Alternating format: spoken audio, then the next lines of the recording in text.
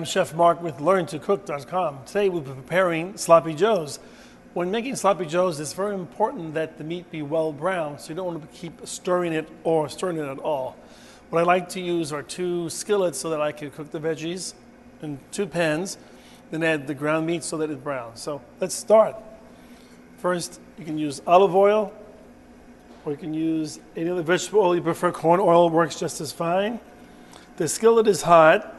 I don't want it screaming hot, but hot enough so that I can uh, brown the veggies. A good sloppy joes has crisp meat, and that's, I guess, one of the important tips about uh, making sloppy joes is the meat is nicely browned. Gives it that texture you're looking for. In here I have onions, celery, and red peppers. You can use green peppers.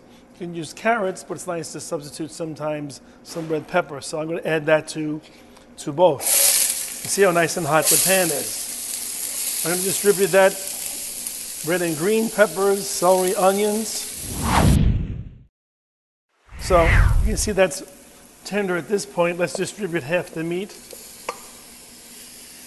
into the pan. We'll let that brown up nicely in my two skillets. Now, if you don't have two skillets, you can easily make it in one skillet. All right, just do two batches, so that will be fine to do that. So we'll let that sit there a few moments. And we're not going to stir it, we're going to let it brown.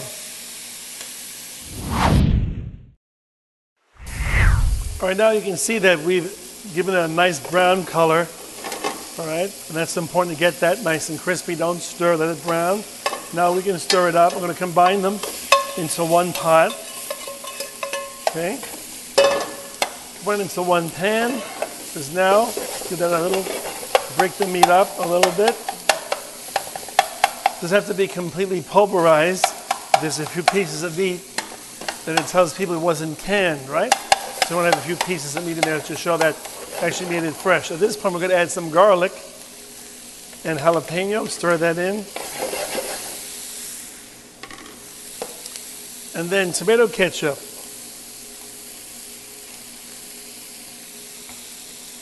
And Worcestershire sauce. Well, that's good to use on the steak anyway, right? Ketchup Worcestershire sauce. Sweet and tangy.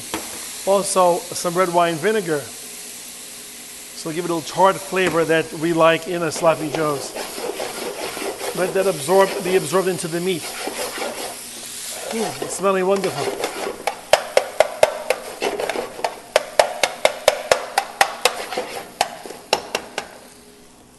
A little brown sugar.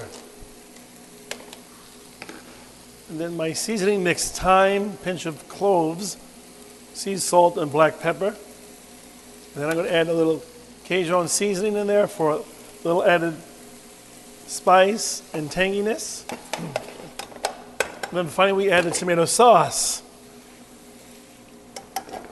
Let's, we don't want it too wet. We want it sloppy enough so that when you eat it, it comes out of the hamburger bun.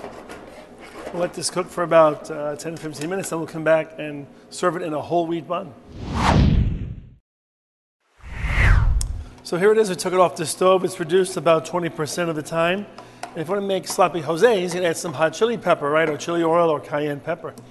So it cooked, reduced very nicely, a little sweet and sour, which is wonderful. And, that, and then I have a whole wheat bun. Place some of that uh, filling as much as you want hopefully you can pick that up. I think you can if you really want to. Uh, pick it up and enjoy it, and uh, it's beautiful. Enjoy your sloppy joes.